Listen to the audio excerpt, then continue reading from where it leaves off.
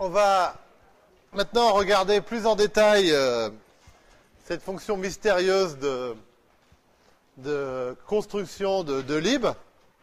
Et donc, on va le voir sur un, exemple, ou euh, donc un exemple relativement simple, où on a donc différents liens. Alors cette fois-ci, j'ai donné, ça donne un bel alphabet grec. On a donné donc un préfixe à l'ensemble des, liens de notre réseau euh, en interne. Donc, première étape, on lance notre IGP, notre OSPF, et donc tous les routeurs vont échanger des, LSA, hein, des Link State Advertisement, donc qui vont permettre de construire de, la table d'état des liens, la topologie du réseau, et de cette topologie, évidemment, on peut construire euh, l'arbre des plus courts chemins à partir de chacun des, des routeurs du réseau. Donc ça, c'est le processus normal que fait notre IGP. Donc, en particulier, donc, découvrir l'ensemble des préfixes que l'on a dans, dans, le réseau. Donc, ici, deuxième étape, construire l'arbre des plus courts chemins. Donc, je me place vis-à-vis -vis du routeur R11 et je vois donc pour l'ensemble des préfixes de mon réseau vers où je dois envoyer l'information pour euh, atteindre, par exemple, euh, le préfixe phi. Alors maintenant, qu'est-ce que l'on fait? Eh bien, le, routeur R11, c'est un routeur euh, MPLS. Donc, il a aussi le... Donc, il a un protocole LDP qui va tourner et qui va donc permettre d'échanger les labels. Donc notre routeur a découvert qu'il y avait un préfixe qui s'appelait IOTA dans, dans le réseau. Et donc on va, il va annoncer à ses voisins la bonne nouvelle en disant, si vous voulez m'envoyer des infos pour ce préfixe IOTA, eh bien, vous pouvez utiliser le label 100. Alors ici, j'ai, on a pris un des modes de fonctionnement de MPLS qui nous permet d'envoyer la même valeur de label sur toutes les interfaces. On n'est pas obligé de le faire, mais ça simplifie un peu les, les étapes parce qu'on a comme ça qu'une seule valeur à gérer. Donc, qu'est-ce que l'on dit? Eh bien, on va avoir une base ici qui nous dit pour IOTA, j'ai envoyé sur l'interface A le fait qu'on utilise le label 100, sur l'interface B le fait qu'on utilise le label 100 et sur l'interface C le fait qu'on utilise le label 100. Donc ça veut dire, en retour, que quand je recevrai quelque chose, par exemple de A avec le label 100, ça veut dire que c'est à destination de IOTA. Donc maintenant, moi, je l'envoie où? Vers quel routeur? Je dois envoyer l'information pour joindre ce préfixe IOTA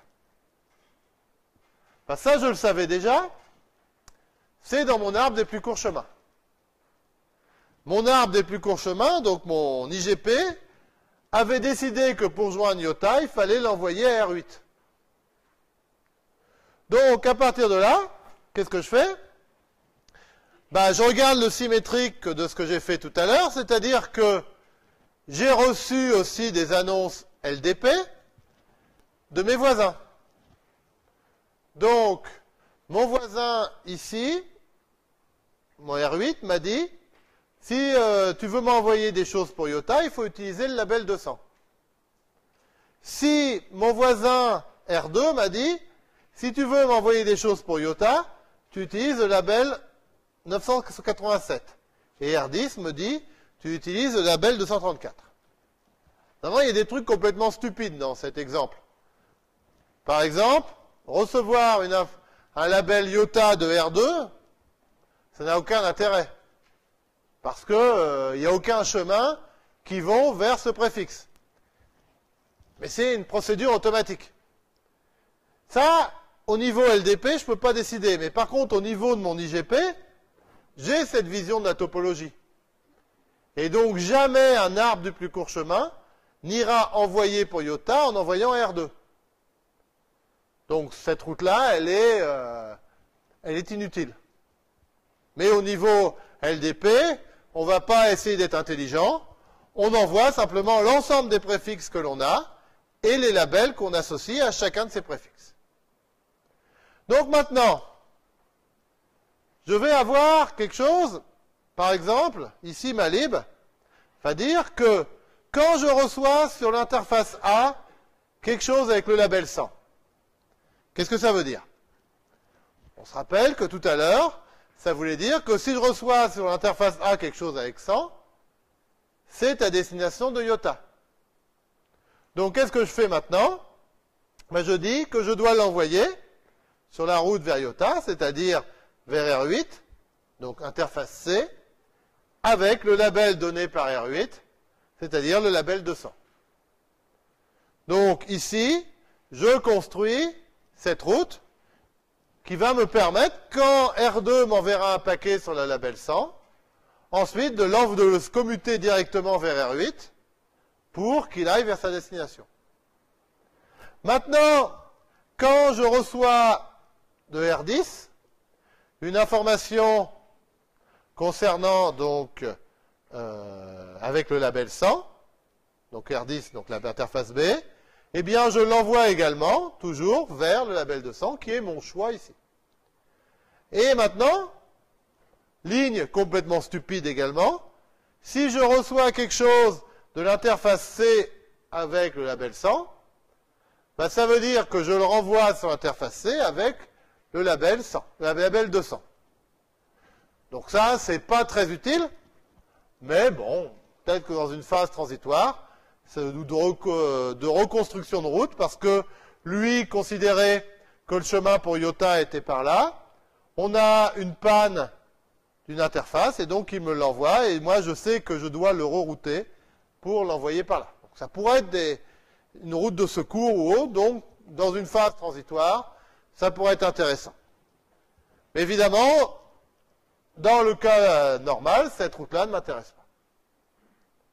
Alors maintenant, vous voyez ici, j'avais fait mon choix sur la route la plus courte. Donc la route la plus courte, mon IGP a dit, c'est celle qui passe par R8. Donc qu'est-ce que j'ai fait? J'ai utilisé le label 200 pour envoyer vers R8. Maintenant, bah, les deux autres, je peux les oublier.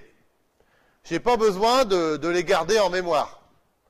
Si je les gardais en mémoire, eh bien, euh, ça prendrait de la mémoire et je ne les utiliserai pas. Le seul cas où ça peut servir, c'est par exemple si j'ai une panne. Si le lien entre R8 et R9 tombe, qu'est-ce qui va se passer? Ben, Mon IGP va en être informé. Mon OSPF va détecter cette euh, panne, par exemple, parce que on va plus recevoir de message de R8, ne reçoit plus de message de hello de R9, et vice-versa. Donc, tout le monde va créer de nouveaux LSA en disant ma vision du réseau, enfin R8 et R9 vont envoyer de nouveaux RSA en disant ma vision du réseau a changé. Voilà ma nouvelle topologie. Ce message-là va être envoyé à l'ensemble des routeurs et les routeurs vont recalculer au niveau OSPF leur arbre des plus courts chemins.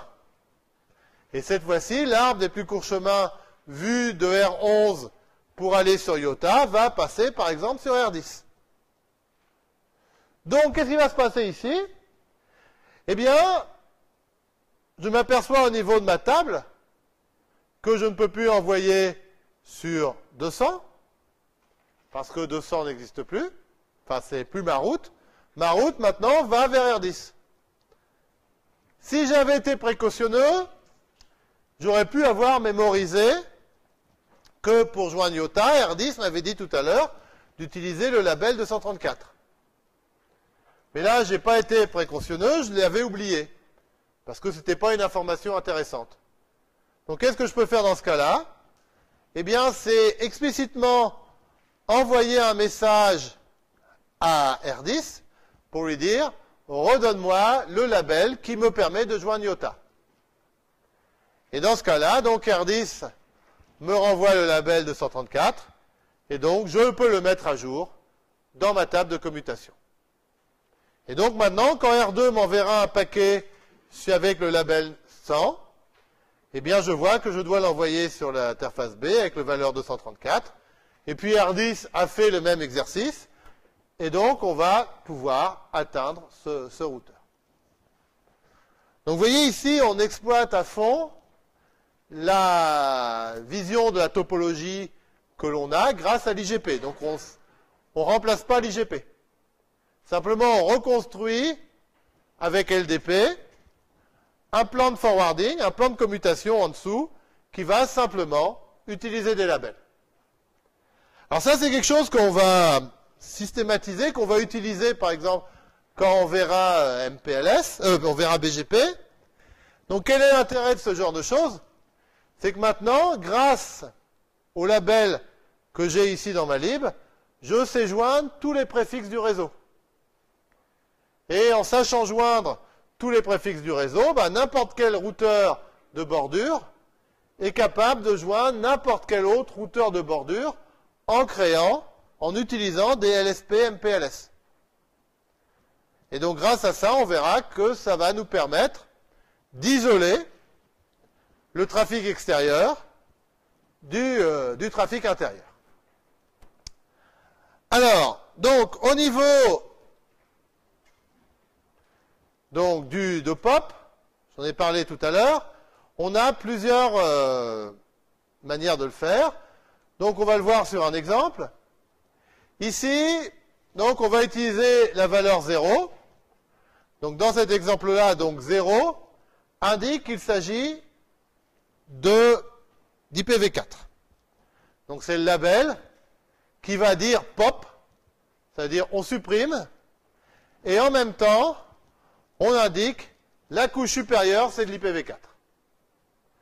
Donc mon paquet arrive au routeur ici, mon routeur retire le label, ne fait pas la commutation, parce qu'on a retiré le label, et donc sait que le protocole de niveau supérieur, c'est de l'IPv4.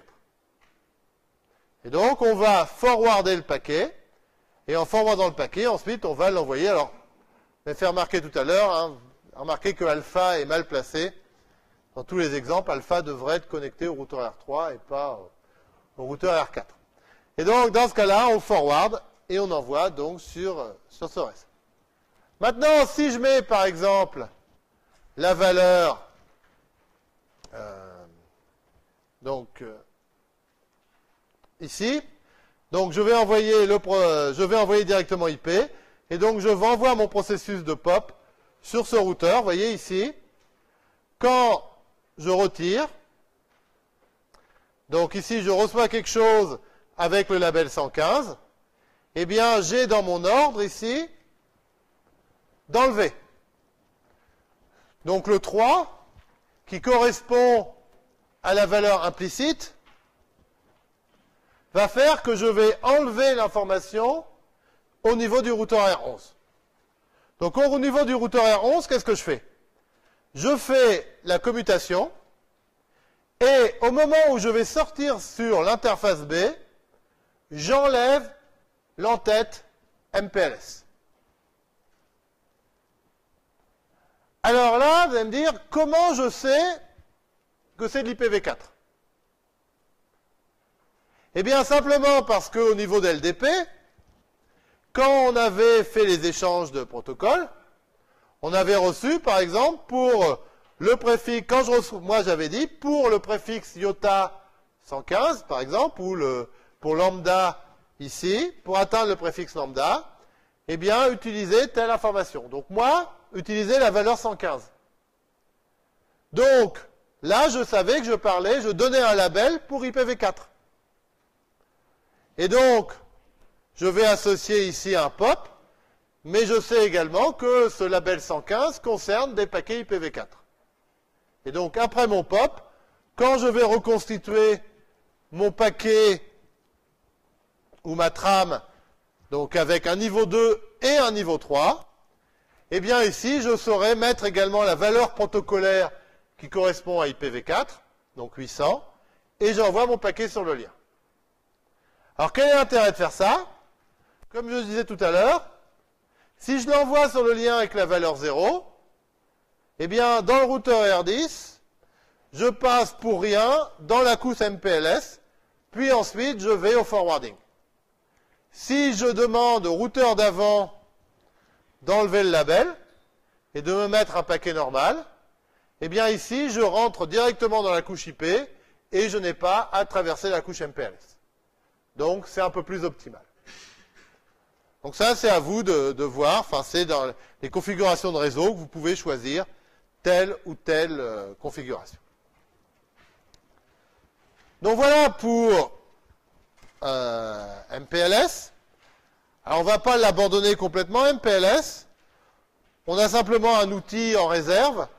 Et on va voir maintenant comment on va pouvoir le lier donc à un autre protocole donc qui est euh, très important et qu'on va voir en détail aujourd'hui, donc qui est BGP.